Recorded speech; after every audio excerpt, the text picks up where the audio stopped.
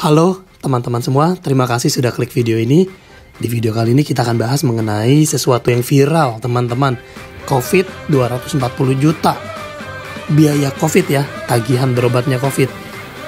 Buat teman-teman yang belum tahu, teman-teman bisa melihat di berita di uh, Instagram at JKT, JKT Informasi atau bisa juga cari di Detik. Di Detik ini ada juga teman-teman di sana beredar berita bahwa tagihan COVID hampir menyentuh angka 240 juta. Oh, no. Ini teman-teman perhatikan, lihat angkanya. Ini tagihan berobat COVID. Di, di berita ini ditulis viral. Tagihan rumah sakit pasien corona hampir 240 juta untuk 4 hari, baru 4 hari aja 240 juta.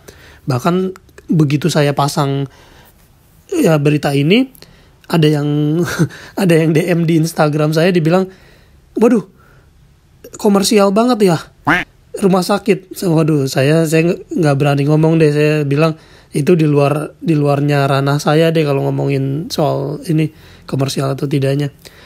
Nah pertanyaannya kenapa mesti viral sih? Kan 240 juta. Bayar ya bayar aja. Susah amat. Bener gak? Kalau punya duit ya bayar aja Nah, pertanyaannya kenapa mesti viral? Nah, viral karena apa? Karena banyak dari kita yang nggak punya duit, bayar segitunya.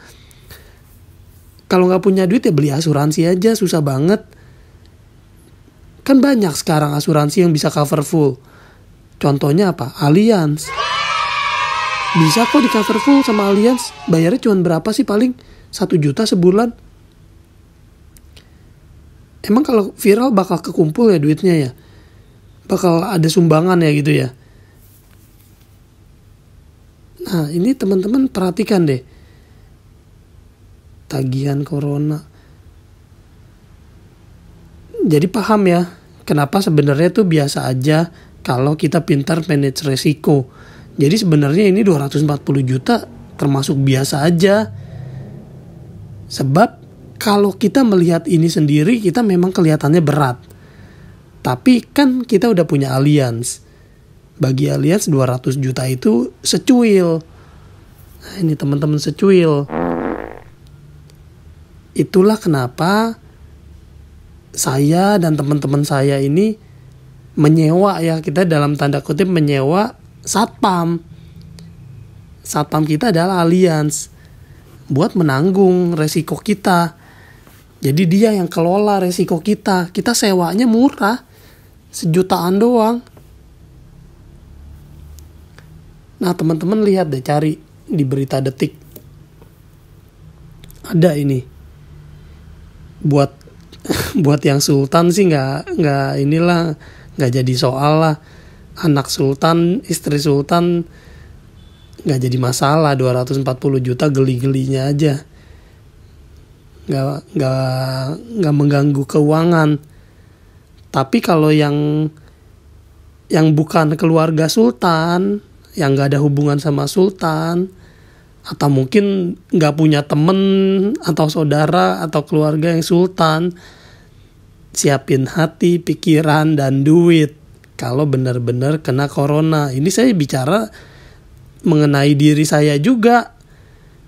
Saya pun bukannya kebal corona. Tuh, seorang warga membagikan bil tagihan rumah sakit nominalnya 200 hampir mencapai 240 juta untuk perawatan COVID 14 hari. Ya, saya berdoa buat teman-teman semua supaya tetap dalam lindungan Tuhan, dijauhkan dari penyakit corona atau sakit lainnya.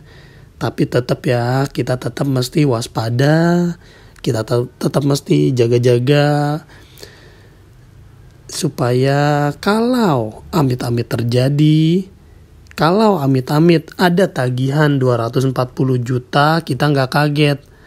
Ini seharga Toyota Rush. Tapi bedanya Toyota Rushnya kita nggak bawa pulang. Kita nggak menikmati mobil itu. Toyota Rushnya lenyap begitu aja jadi coba dipikirkan apakah kita sudah menyewa si aliansi ini untuk menanggung semua resiko kita untuk membantu kita mem membereskan masalah yang bakal terjadi di kemudian hari. Dengan aliansi ini kita hidupnya tenang, teman-teman. Saya hidupnya tenang.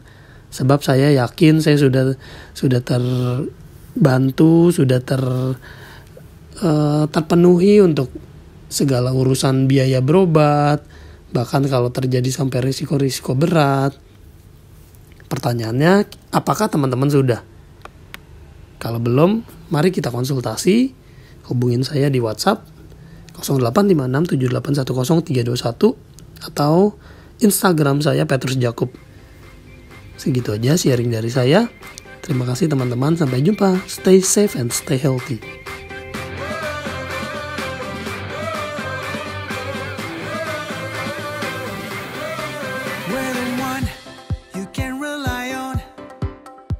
trust